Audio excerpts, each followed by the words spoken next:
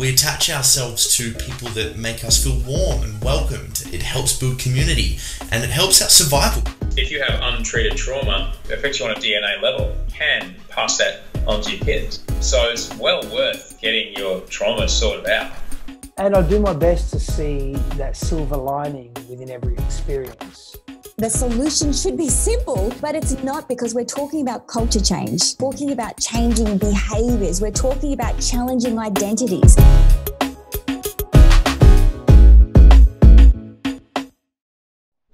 Hello, hello, hello, and welcome back to another show. Tommy, how are you, my man? I'm, mate, I'm, I'm always well. I'll let you know if I'm bad. Put it that way.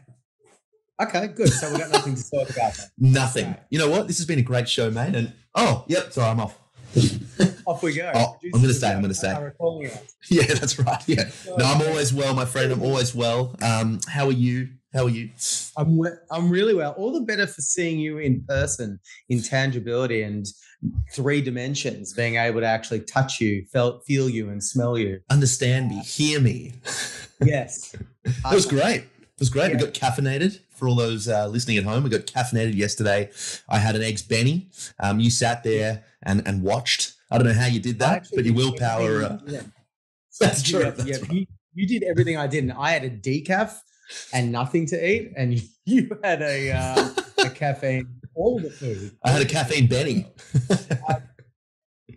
Yes, Benny Benny. Um, look, today we have a marvelous guest on the show. Her name is Nathalie Sabaag.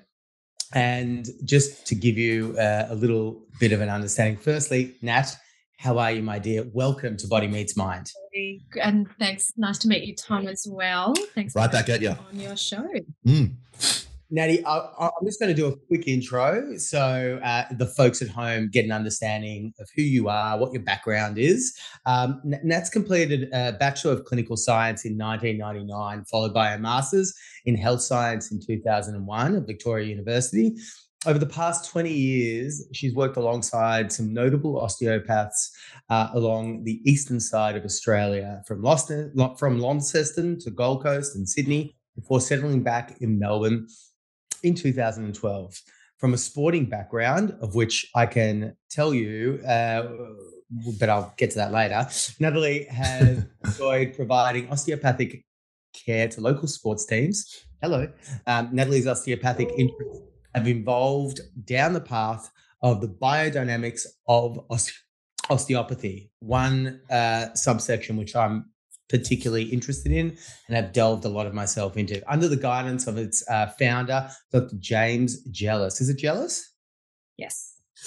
And several other osteopath teachers. Nathalie uses these principles in her osteopathic, osteopathic treatment. She's also part of a national study group and teaches collective that shares osteopathic uh, uh, wisdom to students and osteopaths alike. So uh, there's a lot there uh, to dissect, but I just kind of want to start at the beginning, which kind of just reminded me how we first met, which was uh, you um, uh, being our, our uh, like our massage therapists and physios at my local footy club, which was That's so cool when we won the flag Oh, Yes. by, by one point. Right. Yeah. Okay. And it was again very interesting. It was against my old team that I used to work for as well. So I was, very, it was very emotionally. I remember it was back. I was still studying, so I can't. It was back in the nineteen. I'll tell you when it was. It was the 1900s. it 1900s. was day.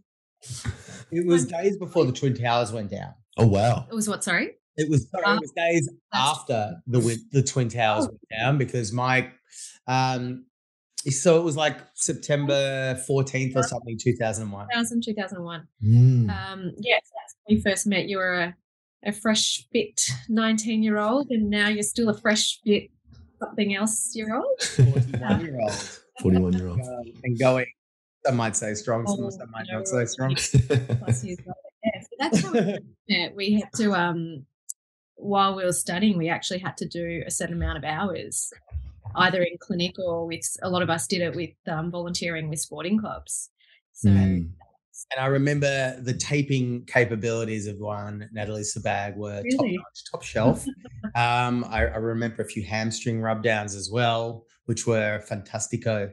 And uh, yeah, it was it was a, a wonderful time. Uh, it feels like literally a lifetime ago, but um, since then we've we've had the I've had the pleasure of you being able to work on my body and tune it up, and I actually think about it um, quite quite often because I've been to see a number of different uh, body work specialists over the time, and um, I just feel way you've been able to tune in to the body's senses and the way it can create a like you can tap into how to center that body with i'm sure the skills and the uh the, the everything that you're going to talk about um, moving forward. It's been quite an incredible experience for me to be able to a witness it, but b experience it, um, being in the guidance of your hands. So thank you, Maddie.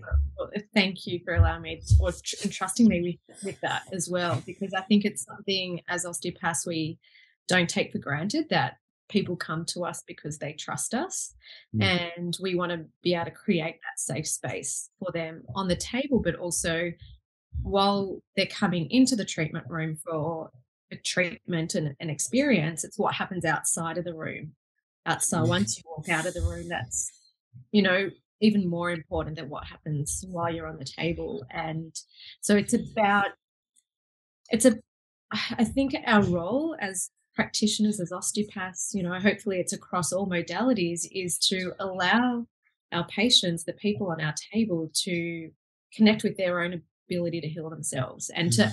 have a deeper understanding of their body and how it functions but also the oth- other elements at play you know whether it's gut whether it's mind psychology but also you know spirituality and all that and encompassing all of those and we're all different so we all have had different life experiences and we all have different interests and it's going to evolve. So back when you were on that footy field as a 19 year old where you are now as a 41 year old married with two kids learning and understanding how our bodies move and work is very different as once we're in our 40s the creaks get a little bit louder and um, we get a little bit slower but it's understanding that and we all have that capability to be healthy and it's all already within us and our role as osteopaths is to not fix anything but allow you to have that relationship with your own body to to heal itself Yeah,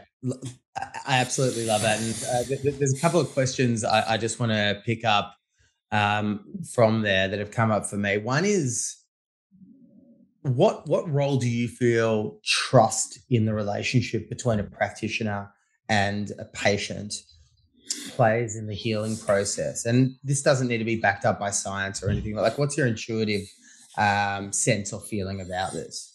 intuitively, I think it's huge. Like if I'm going somewhere, whether it's an osteopath, a hairdresser, an electrician, if I don't trust them, Mm. you know, you know, there are times where they might cut your hair a little bit off or whatever it is, but you go. It happened to me. I never went back. um, yeah, I think it's important.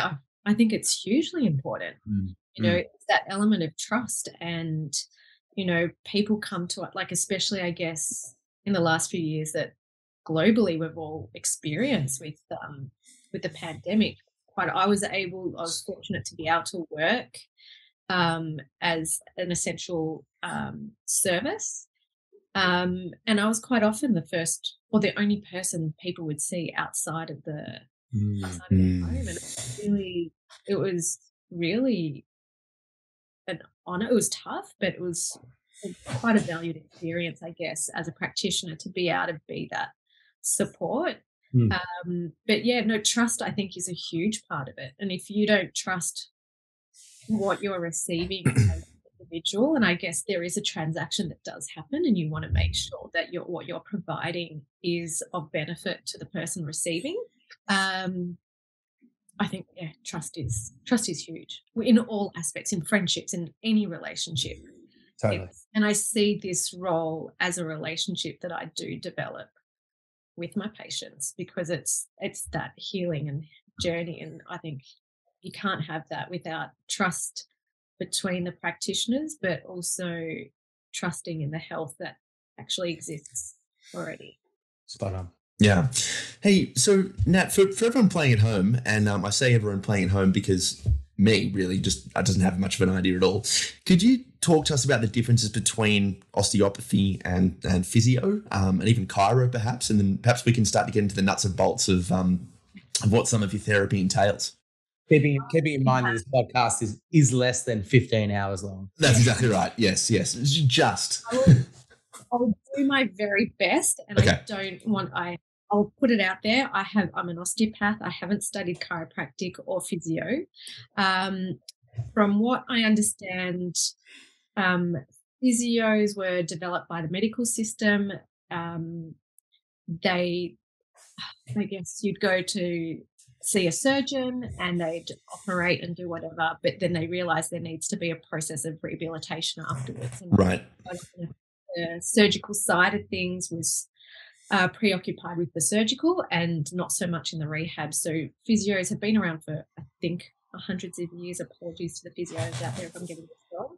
Um, and have been instrumental in doing post-surgical rehab um, treatment in, you know, sporting injuries and have a, wealth of knowledge when it comes to that side of things. Tend to be, again, using again, I'm probably simplifying it and um, using, you know, different machines like ultrasound, um, other sort of bits of Dry needlings. Uh, Dry uh, needling, yeah, and dry needling is an interesting one because there are some osteopaths also that use some dry needling and my Hmm. therapists. Um, chiro and osteo probably have a little bit more of an overlap. So they were both developed in the late 1800s, mid to late 1800s in America.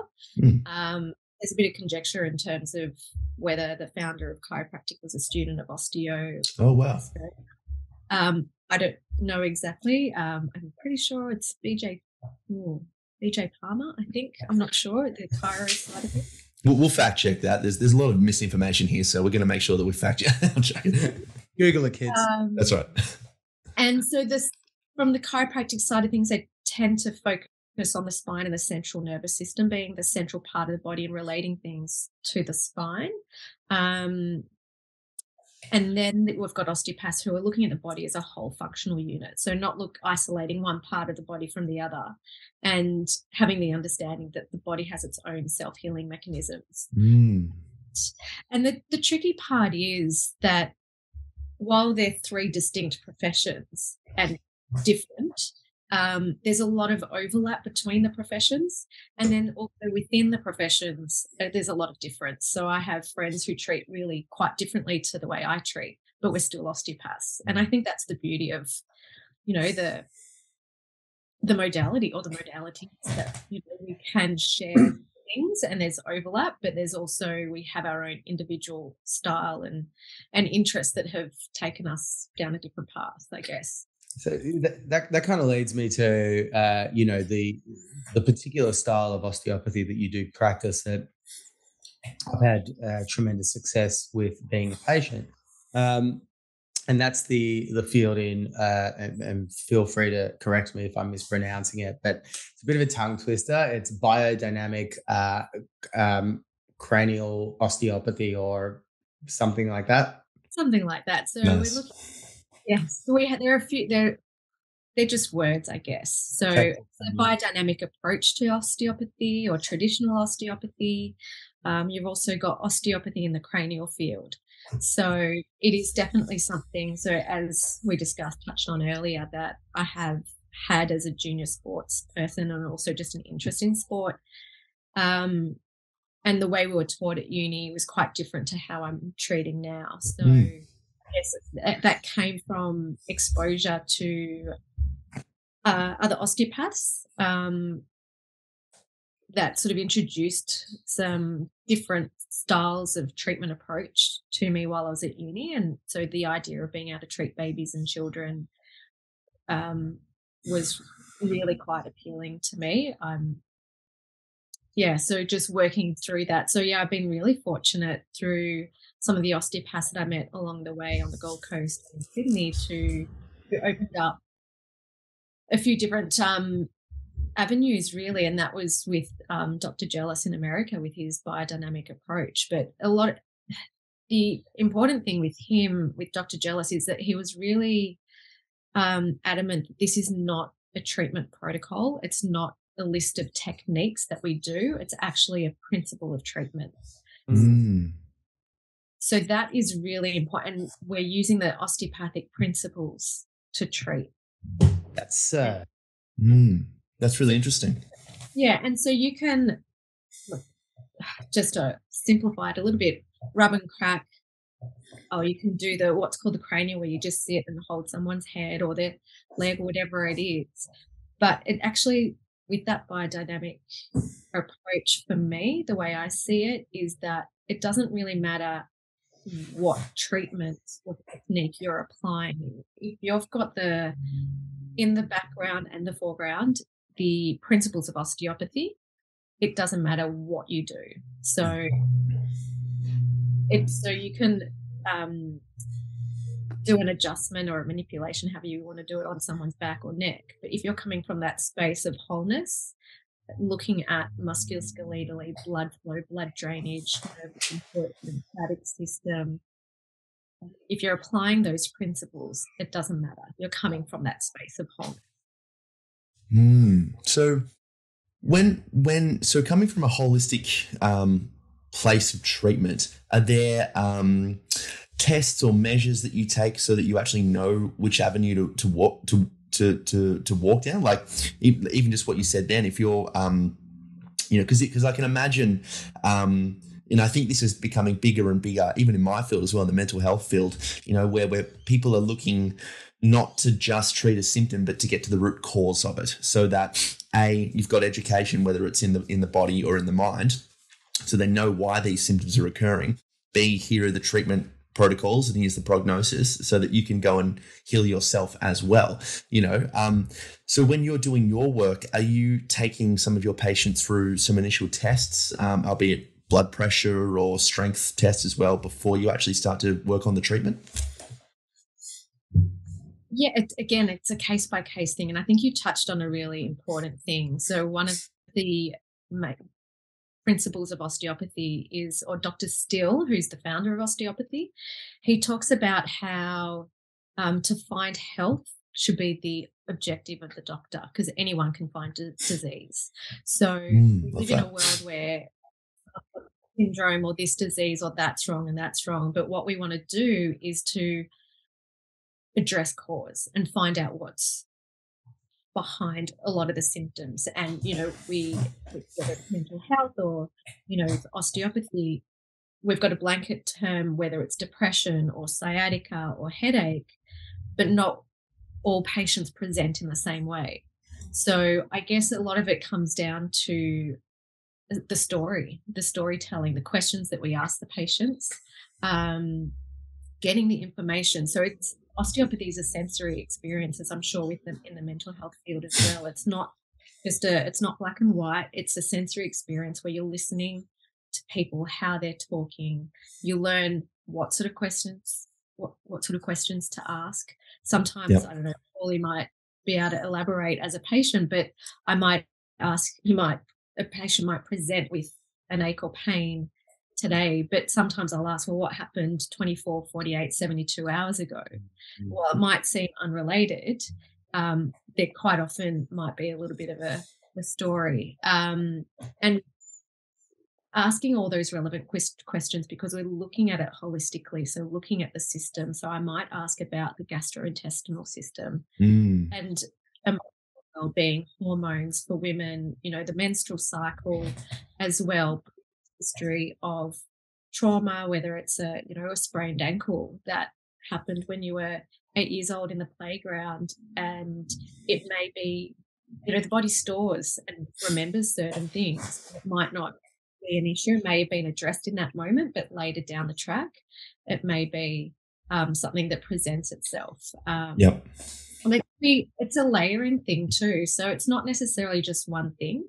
But yes, we do, in terms of the other question, in terms of testing, we do learn how to take blood pressures, do neurological exams. So if someone's presenting with neurological symptoms, we'll go run through um, some testing and I'm also, you know, if someone is presenting in a way that I'm like, just doesn't make sense, I am more than happy to refer on to GP specialists because I think it's important. It's a, it, when you say holistic approach, it's also about the team. We're so fortunate to yeah. live time that we've got that support medically.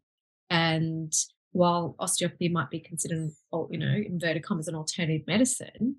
Is it really? I didn't even, wow. I'll, I, I, I, out of pre-research for this, I, I actually Googled and one on the second, maybe second or third line, it states that osteopathy is quackery. What? No way. So while, yeah. Wow. So, um, so there's still a lot for the general public to learn, and even for us as osteopaths to be able to communicate. But yeah, we definitely have great relationships with GPs and specialists, and are more than happy and important to refer on when you know our scope of works is limited.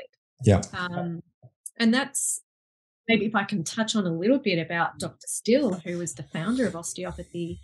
He was actually a medical physician in the um, mid mid to late 1800s, mid mm. 1800s during the Civil War. And he sadly he lost his wife and four of his five children in the space of about eight years to meningitis. Wow. Jeez. He, he obviously tried to treat them medically and realized that there were some limitations in what he could provide. And he got obviously really upset and frustrated. Um, and after that, I think he just went on a little bit of a I call it a walkabout, like went out in nature and just was like, what what's going on here? Like what's happening? And he started seeing the impacts and the effects of nature that if you go out into nature, if there isn't um, balance, harmony, homeostasis within nature, things don't thrive or survive. Mm. Same with us, with our bodies. And we're all learning that. Um, yeah.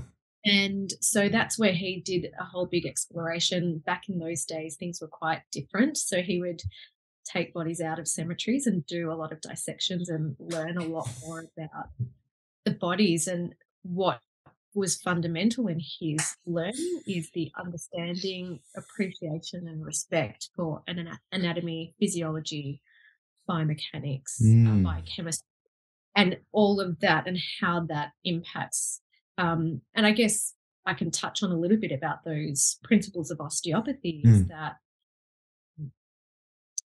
the structure of something is going to govern how it's going to function and yeah. versa. So if something is going to govern what its structure is going to look like. So you're looking at that anatomy, physiology, biochemistry, and even the bioelectrical fields as well, and how they all interplay together to create a functional being like all of us here. You know, we mm. might limp around a bit, but yeah, so yeah, I can't remember if I've answered the question, but um, no, no you definitely have. Like you've you've broken down the the, the difference between uh, physio, chiro, and osteo. But I, I'd love to like dig into. I'll, I'll give everyone a bit of a taste of my own personal experience from a patient's perspective when I come and see you, and uh, I'll, I'll use the common threads that I experience. And then what I'd love, obviously, if you can, to be able to uh, v- verbalize the uh, what you're experiencing from your end as a participant in this whole experience. So we come, we always have a lovely talk about life and all, all, all, the rest of it, which is just half of the fun, really. Food, breathing. Yeah. Nice. the whole bit. Um, and uh, th- then you assess me. You generally take a look at uh, me standing up, um, and you, you assess my posture, etc. Um, I lay down uh, on on your bed, which is directly behind you, right there. Um, and you put your hands on me, right? You put your hands uh, either under uh, under my lower back or uh, I'm laying on my back, generally speaking. Uh, uh, you can place your hands um, under the back of my head, and if there was a camera looking at what you were doing, people would be like, "What the fuck?" like, like there's there's actually nothing happening. You know, like you, you, your the movement is so subtle. I could only imagine that a person from looking from the outside would be experiencing absolutely nothing, right? Um, you can put your hands on my my feet for or under uh, underneath my feet for a period of time, and what happens within my experience is I, I lose time. If I go deep, I actually go somewhere uh, between wakeful state and being completely out cold. Uh, but I'm not in the awake state or the the sleep state. I'm like mm. almost in an altered state. Um, and I remain there for a period of time. And I know that if I achieve that altered state, that's when the uh, the power of the medicine that you are able to hold the space for is able to do its work in its most profoundly efficient manner. Um, now that's what I experience from a patient's perspective, and then I get up and I'm like, oh, that was wow. deep. um, and it was quite a trip, right? And, and it was amazing. And I feel many times I feel incre- incredibly restorative, and um, you know, I feel like a lot of deep work has been done. Now, from Nat's perspective, it's obviously a very different story.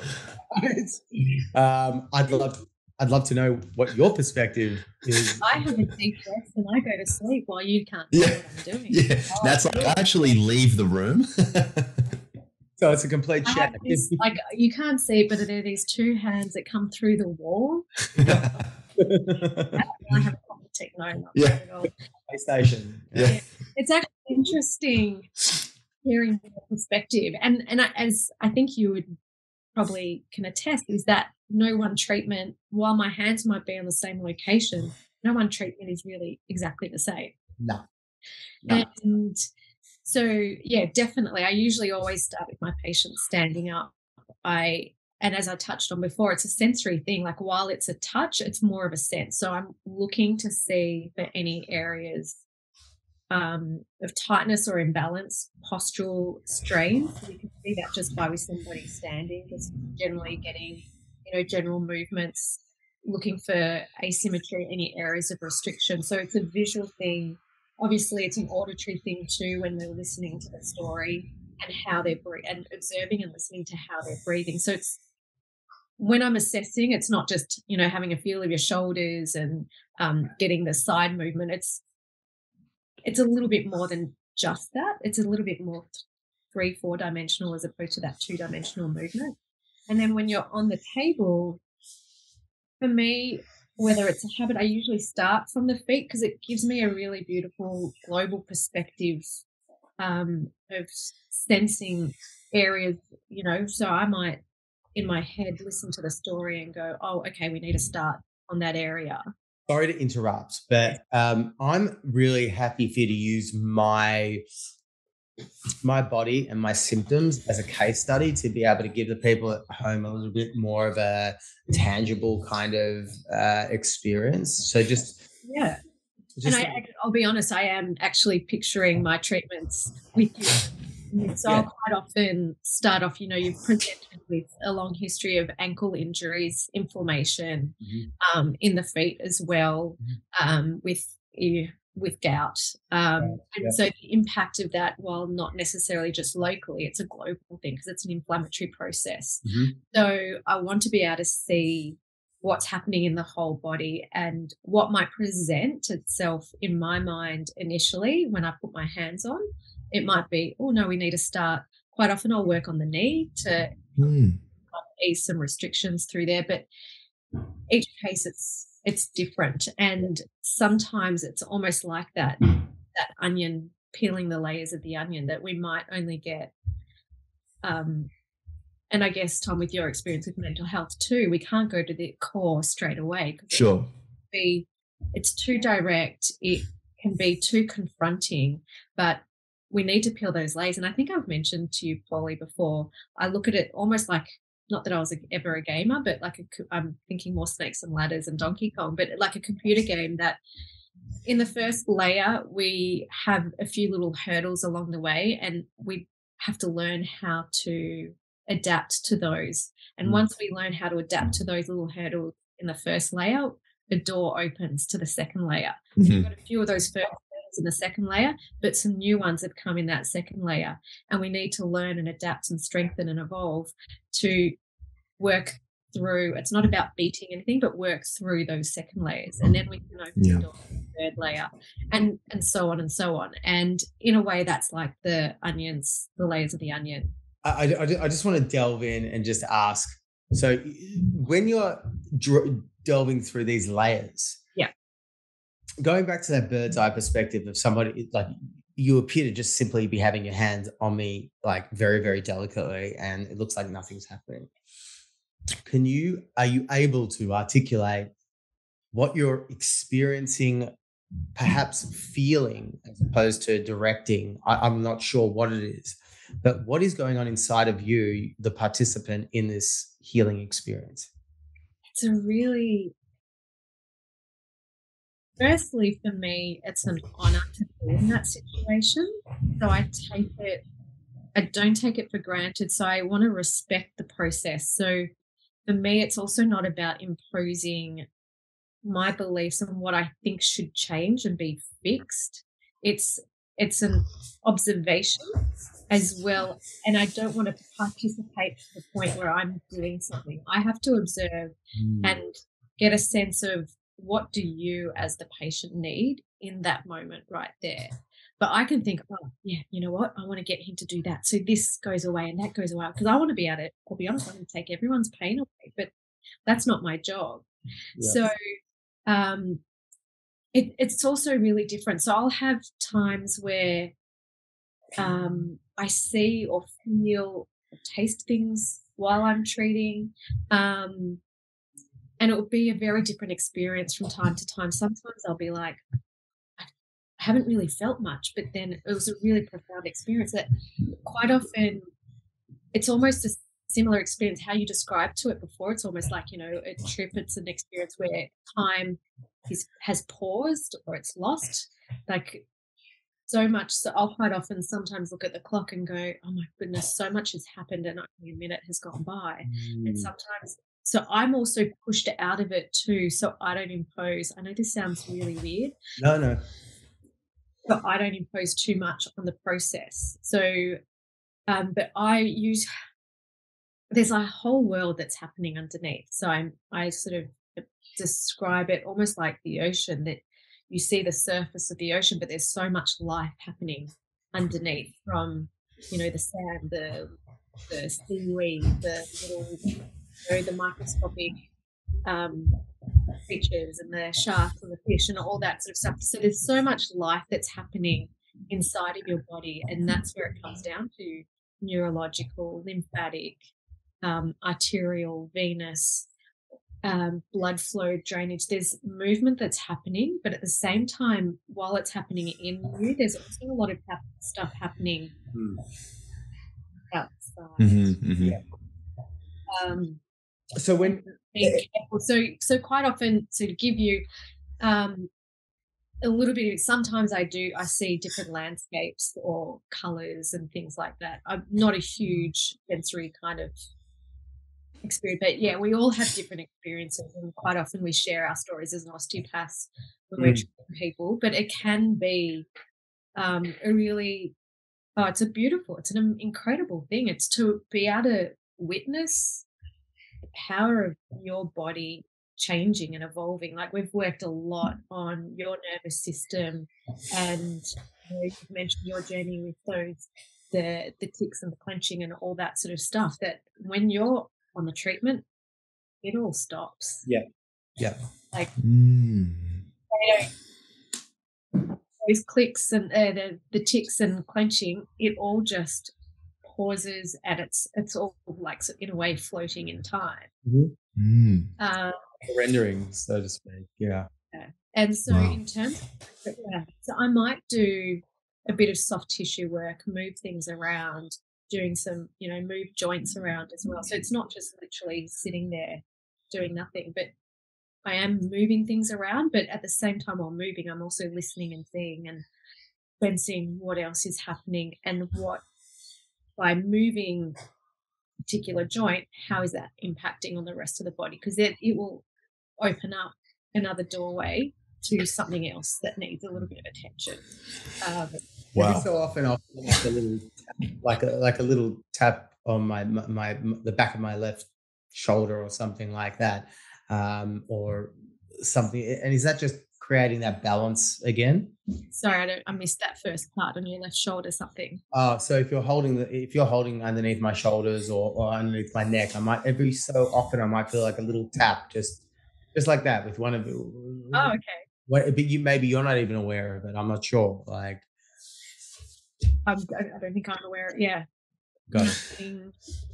It's interesting stuff. Yeah. You know, f- sorry, um, for me, listening on the outside now, when, to be honest with you, when I read your bio and I read that you'd studied clinical sciences, I was expecting this podcast to be very different. I was gonna, I was gonna be asking you about research methods and significant associations and and, and so forth. And I think um, this is one of the beauties of podcasting, especially when you don't know the guest. And I've just for a bit of context, this is one of the reasons why Paulie and I banded together is because we would want we would be interested in people that the other wouldn't necessarily reach out to, not because we're not interested in, just wouldn't be in our field of perception, right? And we get people on the show, and that just blows our minds because it's just it's it's a, a, massive surprise, you know. And I think um, for me, anyways, in coming back to your work, um, this is an area that I'm really interested in. You know, my my partner's a breathwork meditation healer. So a lot of that work is in around, um, um, you know, a uh, a dynamic approach, a two way thing, you know, and I think um, what what what it sounds like to me is you're very um, process oriented. Correct me if I'm wrong, please. I don't want to put words in your mouth, but um, you're someone who's very process oriented and wants to let the medicine work for itself, but as a as a lovely kind of positive externality associated with that you're having these downloads you know these messages um, and and there's a lot of overlap with what goes on there in in breathwork as well and even an area that i'm really interested in which is psychedelic research.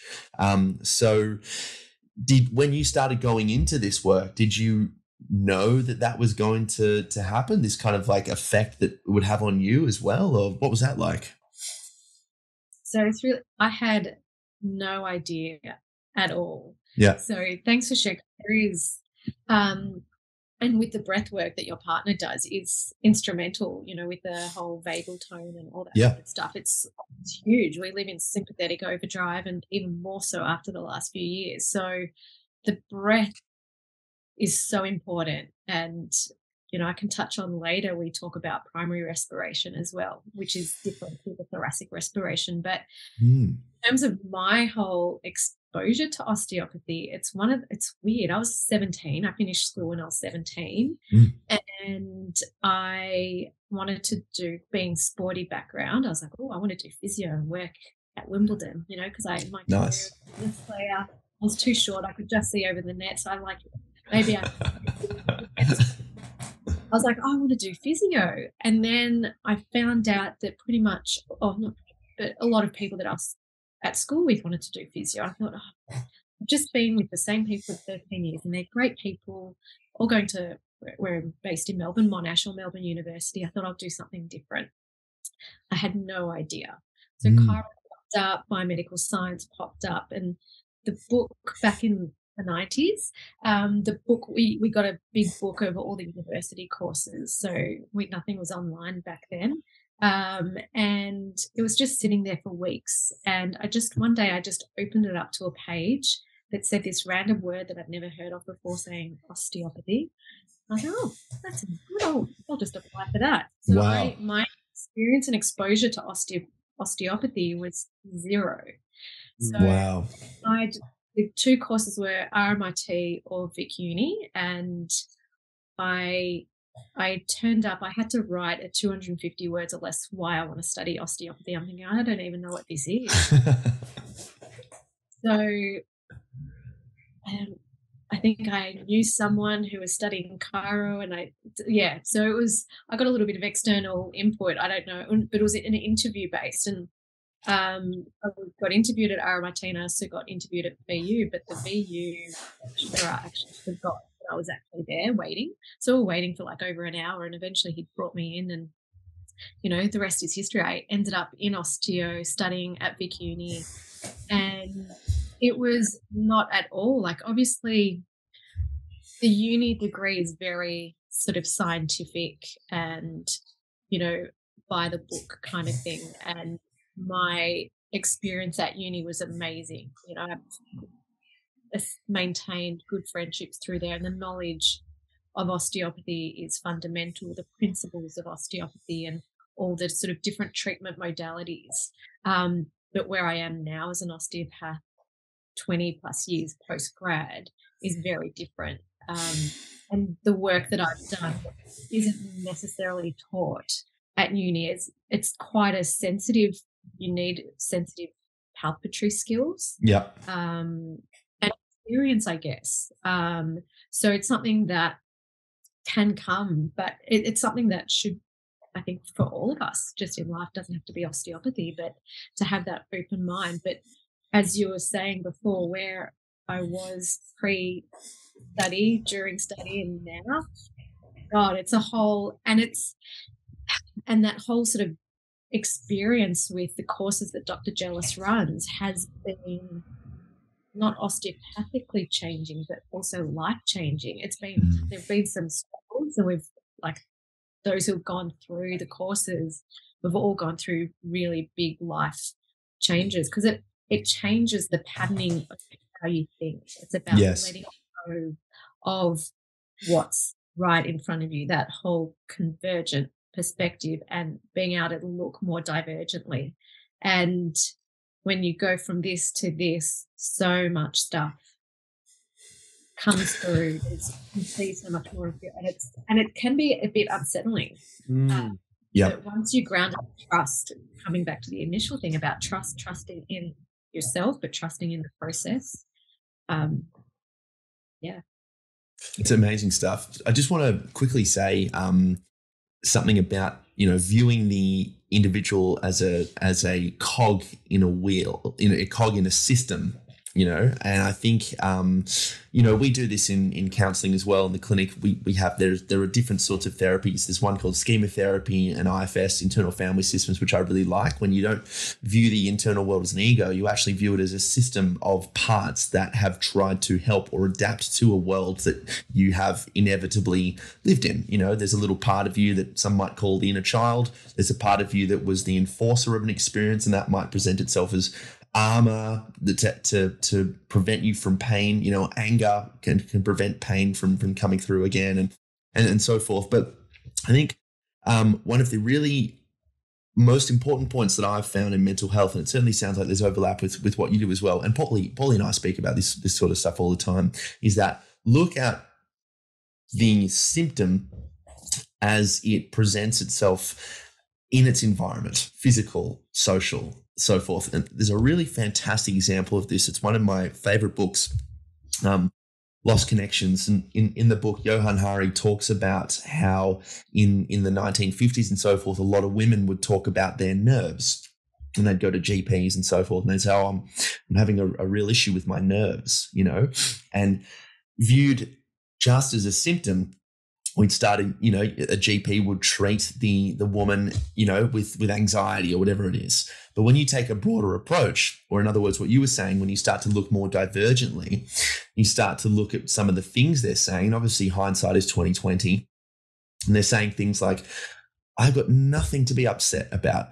You know, my husband makes great money. We've got a brand new washing machine. You know, we've got an amazing clothesline. We've got, you know, and now we look back on these sorts of things and go, of course, all these psychological needs aren't being met. Where's the autonomy? Where's the independence? Where's your sense of self? Where, you know, all these sorts of ideas. But if you just view it as a single symptom, of course, you're going to inevitably, unless there's a real clear medical illness, um, you're inevitably going to, to walk down the wrong road. And I think that's one of the biggest things that resonates with me as you're talking is to view the pain or the issue, you know, an example, Paulie's foot. What is the body doing to exacerbate these issues, you know, and then how can we affect change within the body so that the symptom, you know, as a coping strategy is no longer there. So that I think it's not not necessarily so much of a question, but I just think that's really coming through strong to me as you're um as you're talking. Absolutely, and I think it's so like you know, Paulie and I have spoken about it because there are certain elements of the the gout label that aren't making sense. You know, his you know uric acids acid levels are low. You'd you know when he's having a flare up, and you know we have to sort of try and step back in terms of where's that inflammation coming from, and you know there's a lot of gut stuff that we need to sort of explore. And again, I'm not a functional medicine doctor or, or general practitioner or anything like that. But that's where, you know, having those contacts with other modalities that can delve deeper into that side of thing. I have a, a real general interest in that sort of stuff in terms mm. of the inflammation. There's an increase in um, autoimmune conditions over mm. the year, mm. um, inflammation that, you know, a lot of us, we either are going through it at the moment ourselves or we know someone who is. And it's just understanding the impact of general inflammation, stress. You know, you're you, you know going through that with the um, mental health world, and um, and there's amazing research coming out now with all the um, psychedelics and everything, and it's fascinating. And partners work in um, the breath work and things that we can do. And I think there are so many things that we can do as individuals um, but it's about having that open mind and heart to yeah. Mm. Um, but also, and I'm I've been really fortunate in that I've got some incredible people around me who know so much more than I do, and I also learn from my patients. I learn from Paul. Every treatment I do, I'm experiencing is a learning experience, and um, I think there's so much more to what's going on within an individual than necessarily a label. Um, while it's nice to have that label, it gives us something to work from. Yeah, we're all different, and and we're all going to respond differently as, as well. So, um, you know, I've done my own exploration in um, looking, you know, looking after my own health in terms of dietary stuff, and yeah. you know, working on managing my stress, but I keep throwing piles of that at me, but you know, um, but yeah, it's um, but it's a whole thing, you know, what you do with food. Like I love food and cooking and being gluten, dairy, sugar, all that free. I was like, what am I going to do? Like, mm. it does impact on social stuff, but I'll make adjustments, but I've also learned and adapted. And there are so many things now. What 20, 30 years ago, gluten free is very different now. Yeah. Uh, but that's also part of the treatment too, because it's not just about what I'm doing on the table, it's what the patient can learn and to take home and to make certain changes. And it's hard to shift the mindset. You know, we get attached as humans, you know, ego or it's that habit of our protection, we do what feels easier and it's comfort. And yeah. there is, you know, things that we can improve and change. And like, I'm definitely not perfect. Um, learning to make sort of small changes and, and just to be easy on ourselves as well. But it's not just what happens on that table. For me, it's empowering a patient to to breathe, mm. connect with their breath, to learn what sort of triggers might be making them angry, to learn what triggers of food might be causing irritation as well, and exploring. But um, yeah, yeah, very, very cool. Uh, look, Nat, you've been able to, uh, you know, kind of explain and uh, communicate what it is, the craft that you do, but also understanding that a person's health journey, you know, it, it can there's so many facets associated with it and you can also play a role in your own health journey as well like a massive role in your own health journey through so many different faculties that you take part in. But the responsibility that you have um, in your craft has been from my experience um, very very powerful and I, and I know many other people as well so I want to thank you for jumping on the show and uh, having a chat to us. You were just so wonderful and so perfect uh, in in your explanation of everything in your and your whole journey. So thank you, Nat. Thank you for having me on here. As Paulie knows, I'm uh, I'm not one to be on camera or in, or in front of the camera. I, uh, not my comfort space, but as we were just talking about, you know, life journeys, it's about learning and growing and you know, thank you, Paulie and Tom, for uh, that's on the other show. I'll say. But, uh, I um, I uh, thank you for making this first experience for me fun and enjoyable, and yeah, maybe I'll do it again. We'd love to have you on again. Hey, hey, Nat. Um, very quickly, where can um, people find you for, for more information? People want to get in touch, perhaps to to come do some work with you. Where, where can they go? So I've got I'm based in Melbourne, so I'm in a clinic in Caulfield. So the business is called In Health Osteopathy, um, and I guess it's quite poignant in terms of what we've been talking about. Is always being connected to our health, um, and so it's inhealthosteopathy.com.au. So feel free to email me. There's a link there. You can um, either make an online booking or send me an email if you have any questions, and I'm more than happy to have a chat.